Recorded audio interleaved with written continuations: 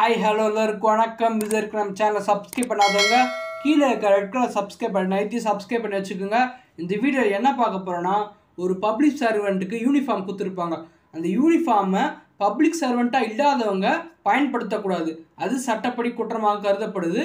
அதை பற்றி தான் பார்க்க போகிறோம் வாங்க வீடியோக்குள்ளே போகலாம் இதை பற்றி இந்திய தண்டனை சட்டம் பிரிவு நூற்றி எழுபத்தொன்னில் சொல்லப்படுது. பிரிவு நூற்றி எழுபத்தொன்று என்ன சொல்லுதுன்னு பார்த்தீங்கன்னா சில துறைக்கு பொது ஊழியருக்கு அதாவது பப்ளிக் சர்வெண்ட்டுக்கு யூனிஃபார்ம் கொடுத்துருப்பாங்க. எக்ஸாம்பிள் இப்போ போலீஸ் எடுத்துக்கணும்னா காக்கி சட்டை காக்கி ஃபேண்ட்டை கொடுத்துருப்பாங்க. இப்போ நர்ஸ் எடுத்துக்கிட்டிங்கன்னா ஒயிட் அண்ட் ஒயிட்டு அவங்களுக்கு யூனிஃபார்ம் கொடுத்துருப்பாங்க. டாக்டருங்களுக்கும் ஒயிட் கோட்டு கொடுத்துருப்பாங்க. கவர்மெண்ட் டாக்டருங்க எல்லா நார்மல் டாக்டர்ஸ்க்கும் கொடுத்துருப்பாங்க. கவர்மெண்ட் டாக்டருக்கு ஸ்பெஷலாக அவங்களுக்கு ஐடி கார்டு கொடுத்துருப்பாங்க. சரிங்களா?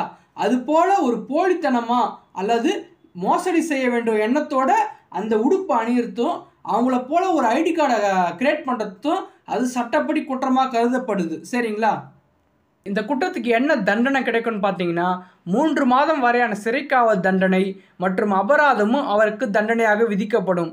நெக்ஸ்ட்டு பார்த்தீங்கன்னா இந்த குற்றத்தை ஒருத்தர் செஞ்சிட்டாரு அந்த நபரை எப்படி கைது செய்யணும் பார்த்தீங்கன்னா போலீஸ் வந்து வாரண்ட் இல்லாமல் அந்த நபரை கைது செய்யலாம்.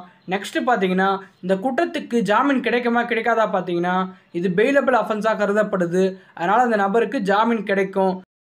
இந்த குற்றத்தை விசாரிக்க நீதிமன்றம் பார்த்தீங்கன்னா முதல் வகுப்பு நடுவர் நீதிமன்றம் இதை முறையாக விசாரணை செய்து தகுந்த தீர்ப்பும் தகுந்த தண்டனையும் வழங்கும். இந்த வீடியோ பிடிச்சிருந்தா லைக் பண்ணுங்கள் ஷேர் பண்ணுங்கள் கமெண்ட் பண்ணுங்கள் மறக்காமல் நம்ம சேனலை சப்ஸ்கிரைப் பண்ணி சப்போர்ட் பண்ணுங்கள் தேங்க்யூ